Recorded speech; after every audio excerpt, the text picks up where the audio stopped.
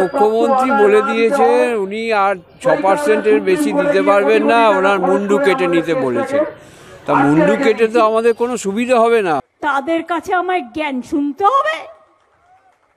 জ্ঞানদাতারা চোরেরা ডাকাতরা ডাকাত সর্দাররা।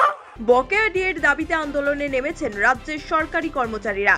শহীদ মিনারে সংগ্রামী যৌথ মঞ্চের নেতৃত্বে রাজ্য সরকারি কর্মচারীদের ধর্ণাবস্থান পঁয়ষট্টি দিনে পড়ল। বকেয়া ডিএর দাবিতে যে ধর্ণা চলছে, তা এবার দিল্লি নিয়ে যাচ্ছেন রাজ্য সরকারি কর্মচারীরা। শনিবার সাংবাদিক বৈঠক করে যন্তর মন্তরে ধর্নায় বসার কথা ঘোষণা করেছেন সংগ্রামী যৌথ মঞ্চের সদস্যরা। তারা তিন দিন যন্তর মন্তরে ধর্নায় বসছেন যৌথ মঞ্চের প্রতিনিধিরা। আগামী দশই এপ্রিল থেকে ওই ধর্না হবে দিল্লিতে।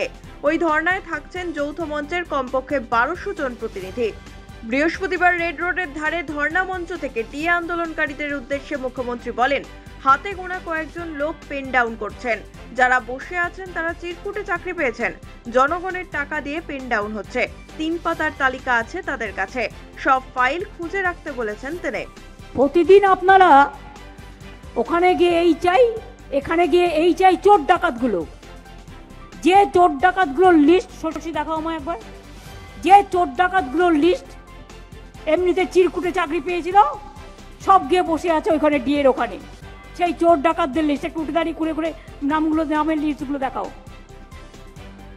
তাদের কাছে আমায় জ্ঞান শুনতে হবে। জ্ঞানদাতারা, চোরেরা, ডাকাতরা, ডাকাত সর্দাররা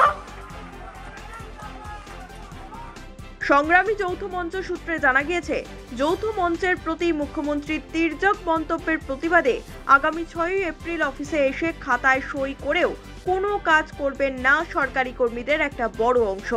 এখানেই শেষ নয়, বর্ধমান উত্তরের বিধায়ক নিশীত কুমার মালির ডবল চাকরি করার বিরুদ্ধেও সরব হয়েছে সংগ্রামী যৌথ মঞ্চ। মুখ্যমন্ত্রী এই এই ধর্ণা মঞ্চে বসে থাকা মানুষজনকে এবং তিরিশ তারিখে যেসব মানুষজন সারা রাজ্যের বিভিন্ন প্রান্ত থেকে এসেছিলেন। তাদেরকে উদ্দেশ্য করে যে কটূক্তি করেছেন, তার প্রতিবাদে আগামী ছয় তারিখ এই রাজ্যে পূর্ণ দিবস কর্মবিরতি পালন করা হবে। এবং এরই সাথে আমরা আরও একটা বিষয় করতে চলেছি। উনি বারবার করে তুলে আনছেন যে চিরকুটে চাকরি পাওয়া। দু হাজার এক সাল থেকে নাকি চিরকুটে চাকরি পাওয়া বা তার আগে থেকে শুরু হয়েছে। আমরা এই রাজ্যের কর্মচারীরা, শিক্ষকরা ঠিক করেছি যে সংগ্রামী যৌথ মঞ্চের নেতৃত্বে আমরা একটা বয়ান লিখে মুখ্যমন্ত্রী এবং মাননীয় মুখ্য সচিবকে আমরা চিঠি লিখে জানাব যে আমরা অমুক সালে নিয়োগ পেয়েছি, অমুক ডিপার্টমেন্টে চাকরি করি। আমি আমার মেধার ভিত্তিতে চাকরি পেয়েছি, সেটুকু আমি ঘোষণা করছি। আপনার যদি মনে হয়ে থাকে যে আমার চাকরিটা চিরকুটে, তাহলে আপনি তদন্ত করুন এবং এই তদন্তের জন্য সমস্ত রকম সহযোগিতা করতে আমরা প্রস্তুত। এই মর্মে গণ চিঠি লেখার কাজ শুরু হবে। সেটা কবে থেকে আমরা ডেটটা জানিয়ে দেব। এবং এরই সাথে আজ একটি বড় ঘোষণা। আপনারা শুনেছিলেন যে এই রাজ্যে ডবল ডবল চাকরি দেওয়ার প্রতিশ্রুতি। ডবল ডবল চাকরি না হলেও কিছু দায়িত্বপ্রাপ্ত জনপ্রতিনিধি ডবল ডবল চাকরি করছেন।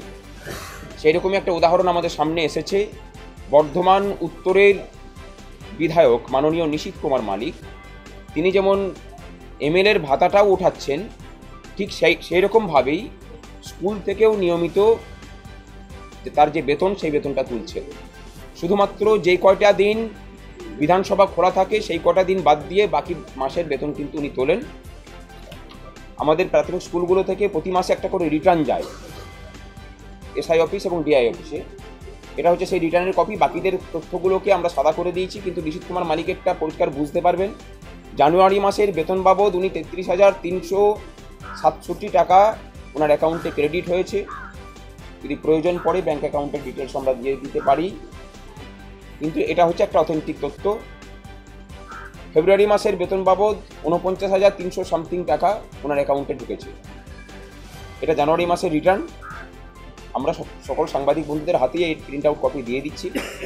কিন্তু আমরা মনে করি যে রাজ্য কোষাগারের থেকে এইরকমভাবে যে লুট হচ্ছে, বৈধ এবং অবৈধভাবে, তার প্রতিকার হওয়া প্রয়োজন।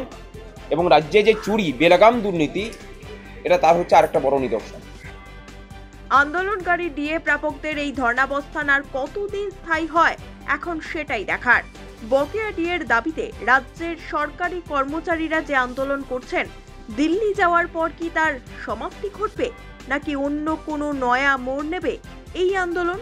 এমনই নানা প্রশ্ন উঠছে রাজনৈতিক মহলে। Bureau report, One India Bangla.